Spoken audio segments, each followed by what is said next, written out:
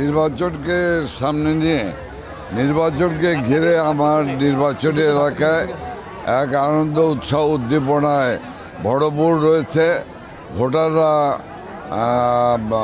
এক ভোট উৎসবে মাতোয়ারা হয়ে আছে। কাজেই আগামী সাত জানুয়ারি মাত্র চার চার পাঁচ দিন বাকি। আমি বিশ্বাস করি যে এখানে ভোটাররা ভোট কেন্দ্রে ভোট উৎসবে উপস্থিত হবেন।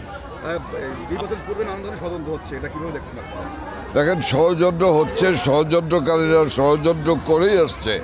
এরা দেশবিরোধী এরা রাষ্ট্রবিরোধী এরা এরা এরা আসলে দেশকে একটি অস্থিতিশীল পরিস্থিতি করতে চায় গণতন্ত্রকে হত্যা করতে চায়।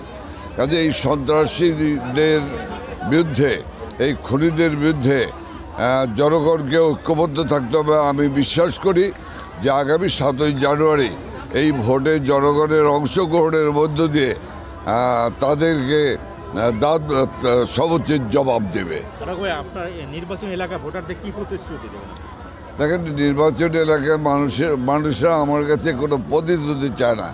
আর তবু তবুও আমি একটি কথা বলতে পারি যে এলাকার শান্তি শৃঙ্খলা মাদকমুক্ত সন্ত্রাসমুক্ত একটি জননেত্রী মাননীয় প্রধানমন্ত্রী শেখ হাসিনার যে লক্ষ্য, স্মার্ট বাংলাদেশ, সেই স্মার্ট বাংলাদেশকে লক্ষ্য করেই লক্ষ্য নিয়েই মোহাম্মদপুর আদাবাদ শেরবাংলানগরকে একটি স্মার্ট এলাকায় পরিণত করা।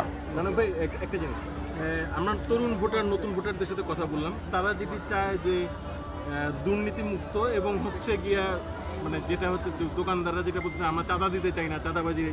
এই জায়গাটাতে স্পেসিফিক এই জায়গাগুলিতে আপনাদের মানে দেখেন এই আহ, খুবই পরিষ্কার কথা। এ ব্যাপারে আমাদের সেটি হলো যে অবশ্যই চাঁদামুক্ত সন্ত্রাসমুক্ত এই ঢাকা তেরোকে তেরো আমি করবই এবং এখানে দুর্নীতি সন্ত্রাসমুক্ত করব।